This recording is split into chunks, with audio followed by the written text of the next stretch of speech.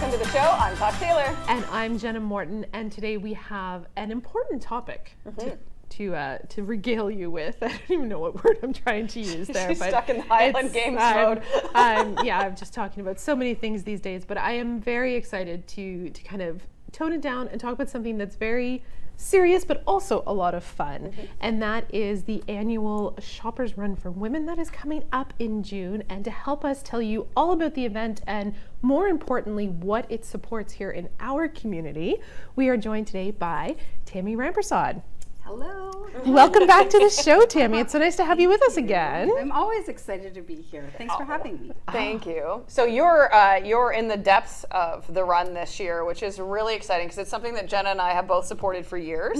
So we're really happy to have you be able to come onto the show today and tell us because not only are you helping them with the work of getting the run ready, but you're also planning on doing it yourself, correct? Yeah, All well, right. a walk. I'm doing yeah, I, Yeah. oh i am team walk Settle all down. the way all the way no running happens here yeah. walk Um, thank Yes. you both for supporting it for years. I, I know that you're hardcore supporters and, and runners, walkers. I appreciate it. I can do a mix sometimes, but um, I've supported it for years too. I'm really happy that it's back in person and that people have both options actually, suiting their comfort level and where they sit in the province.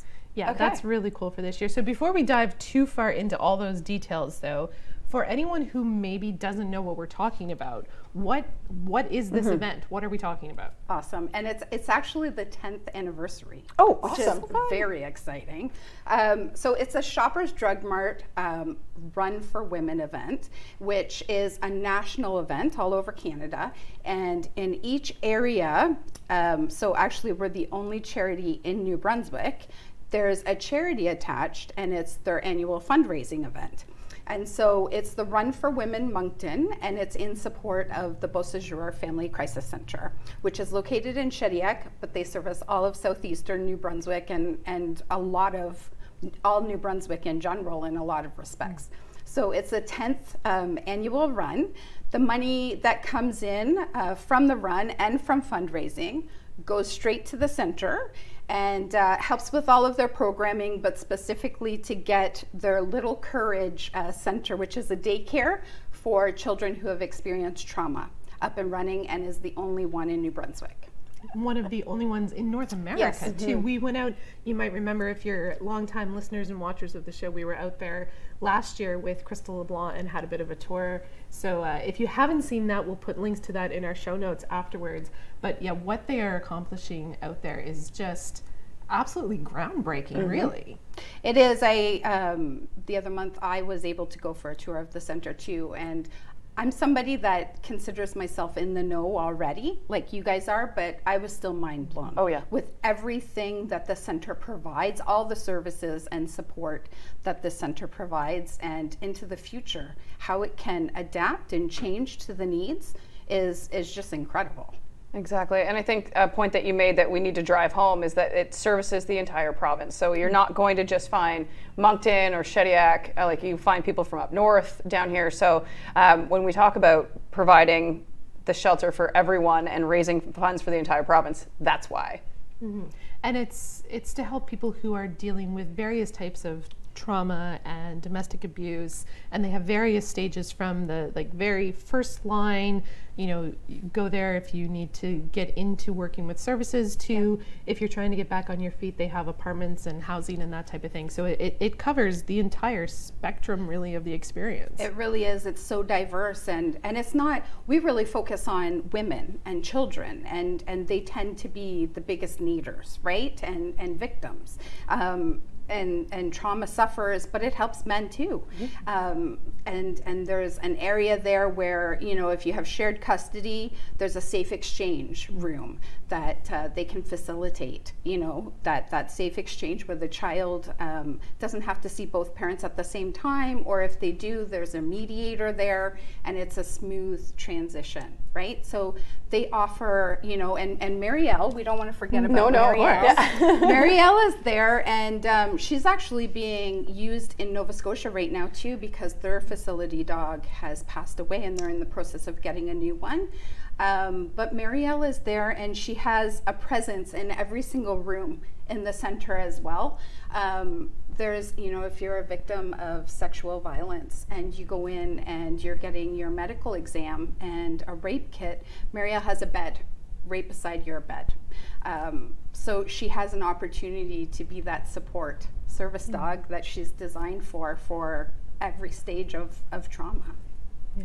I've never seen a dog as well trained as as Marielle is. It was really mm. a, a, pleasure getting to meet her last year when we were there, and just learning the amazing things that she's done for everyone, women, children, men. Um, and then to see Crystal take her uh, vest off when she was off oh. work, and it was like, bam, crazy puppy. It was, yeah. it was, really, really awesome. And I love yeah. that, that they're lending her to Nova Scotia as well right now because I know Crystal did mention how hard it was to get her mm-hmm. and how long they had to wait.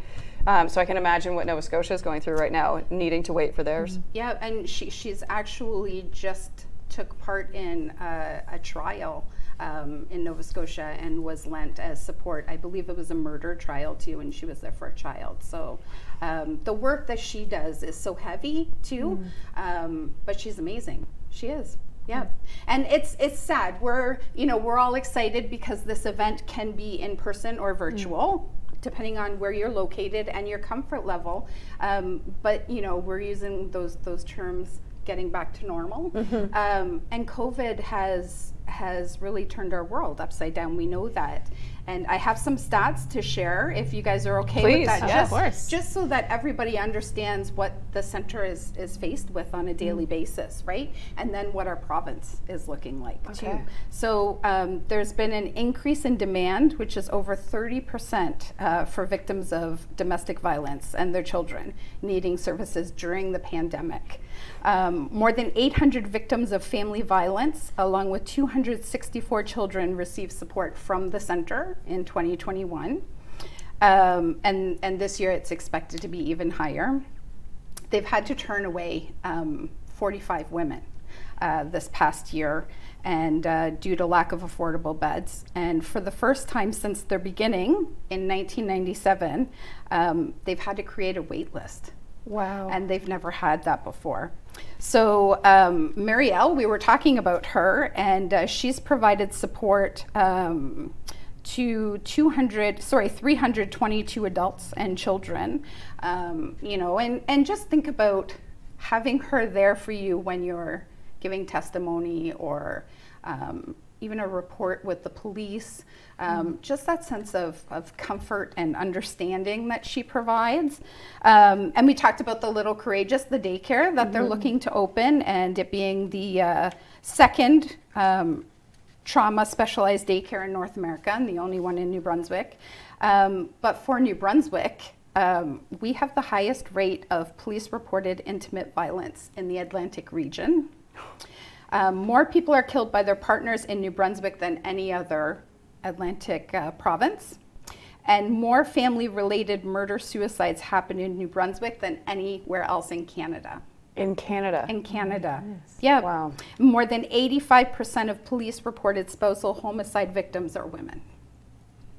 So um, we talked about the diverse services that are provided at the center, but think about those statistics and mm-hmm and the There's need. so much work to be done. Yeah. Yeah. Yeah. there is so much work to be done. You're right, absolutely, yeah. and that's why the run happens, right? So that they can get the money to do the work, get the the little courage uh, playground ready and rocking and ready to go. But maybe in the future, I know they just built this facility, but maybe adding on, right? Yeah. The need is obviously obviously, there, but yeah. you can't you can't just create these things out of thin air, mm-hmm. right? we need we need money, we need funding, we need facilities, places there, there's a lot that goes into it. So let's talk about a little bit of the, the lighter side yes. of how we can help with all of this. We yeah. can't, you know, we obviously can't solve the problems overnight, but the little bit that we can each do to help it starts with the run exactly and that's why it's so important um, to take part right just every registration helps and then if you do fundraising on top so we're asking for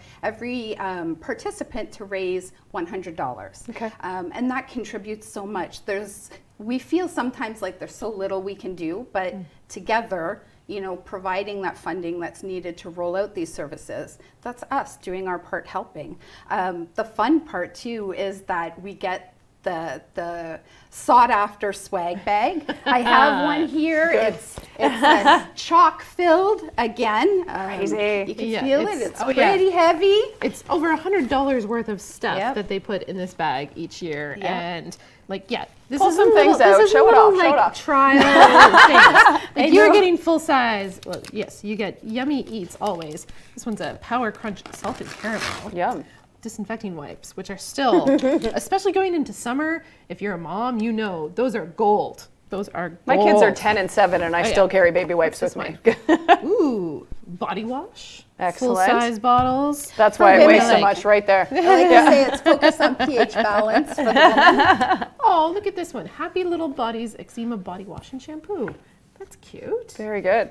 Oh, two in one body wash and shampoo. Jen's There, like, there are different things in this than there were in mine. And So it's a good go. size That's- too. It is a good size, yeah. You need some uh, Sweet. Yes. I love, yeah, like it's not Can like never little like samples. Yeah. These are full size products you get in your swag bag. And if I remember correctly, if you sign up this week Before the or 9th? before the Yep. 9th. Yeah. June 9th so to do it virtually. Yeah, if you're signing up virtually, you will have had to like go back in time and hear this before Sorry. the deadline. yeah. Deadline's up. yes, yeah. We'll share it on our social media and remind people that if you sign up virtually, you can get the swag bag if you did it before we air this podcast.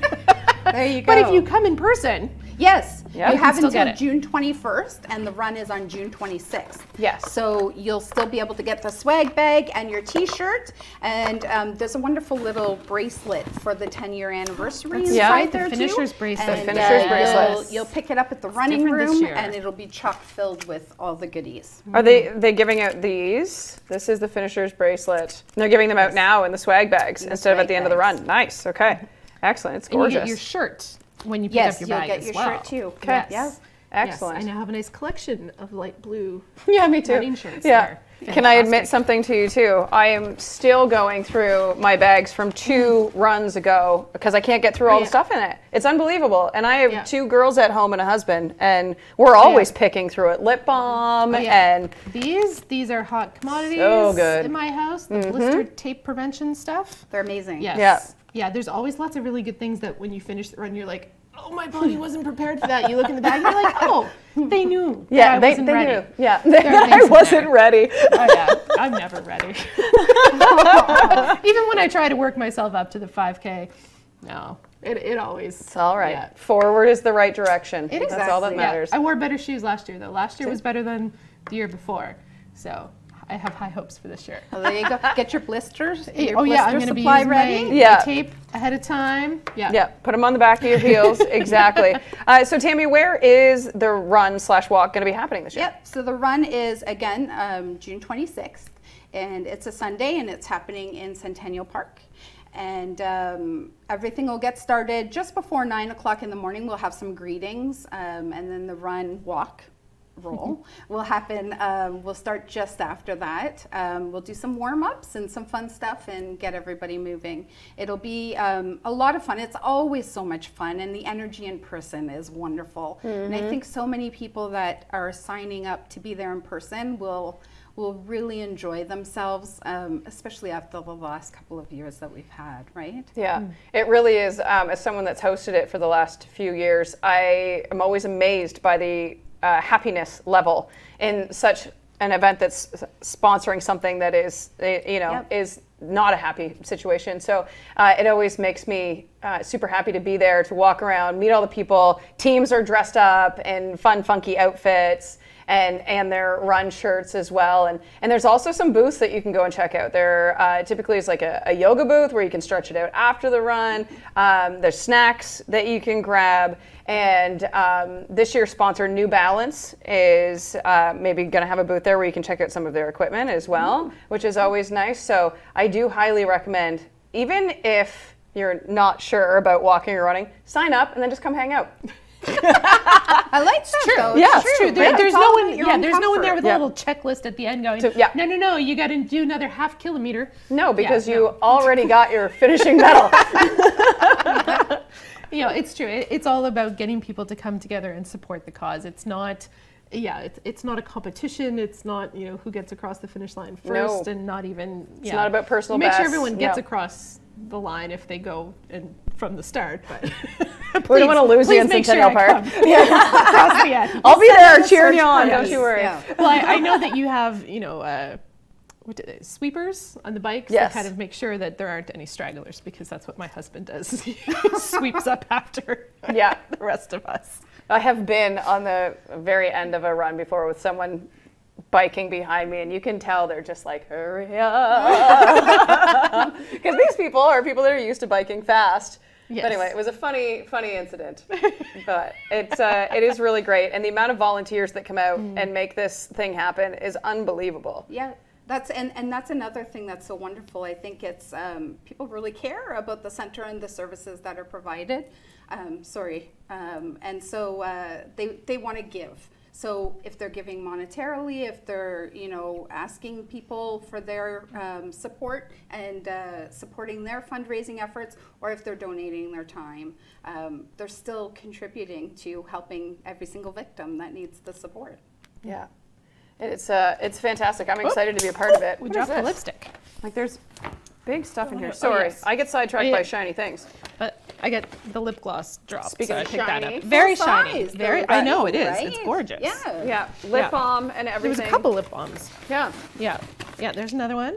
excellent. Yeah. Five star. Have we sold you yet? I don't even know what this is.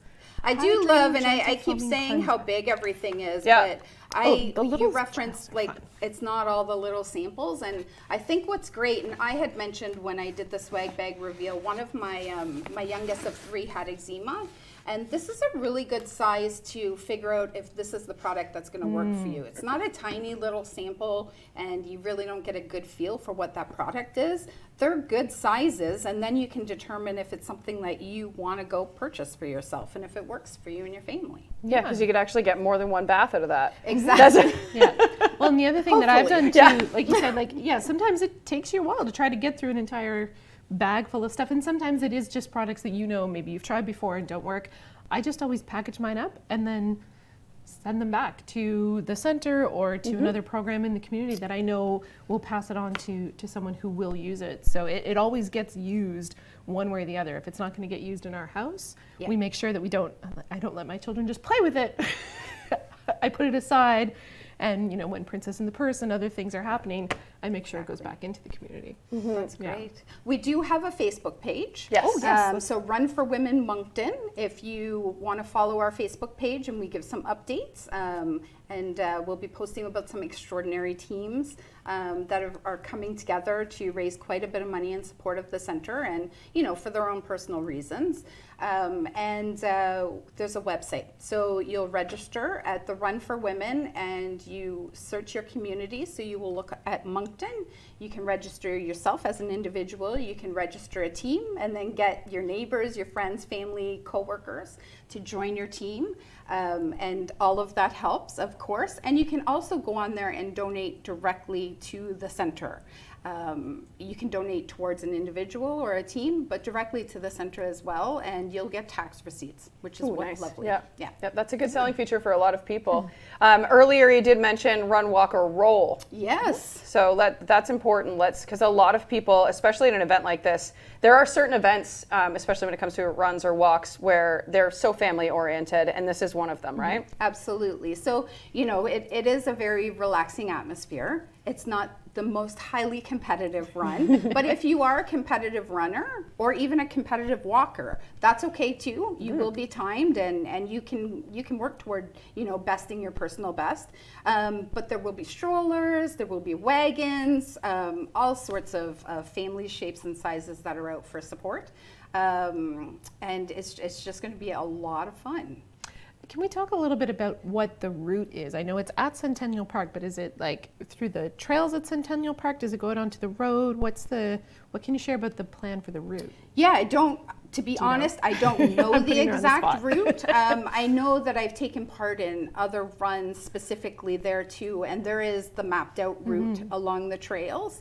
Um, and I'm assuming that it's it's really well laid out throughout the trails, um, but I haven't seen the actual Um, All I in don't due know. time. I, I, yeah, I don't know. Yeah, it depends. Out of experience, starting point's always been on Millennium, and then into the park that way and around, and then you finish back on Millennium. So um, don't quote us. I'm asking because this will be the first time I actually get to do it in person. I've been doing it virtually. Yeah. So I haven't done I I remember years ago doing a different fundraising walk that happened at the park and I think that was the same idea. I feel like we started on the road and then went in Into and around. park, but I'm yep. I know if I were taking the stroller or something, I'd want to Yes. to have that better idea. Although any of the trails at Centennial are, are pretty much made for that to Yeah. begin with. So Yeah, and and we really are um, sharing that it is a family-friendly event and that you can roll. So it will be very accessible for sure. Um, I'm excited that you're going to be there in person. I know, You're going to am feel I. the energy and and a totally different experience than doing it on your own. I did it virtually last year because that was the only option, of course. And you know, I, I felt great because I did my part, but it's so different when you're there and you get to share that energy mm. that's created by the whole entire group doing this wonderful thing together.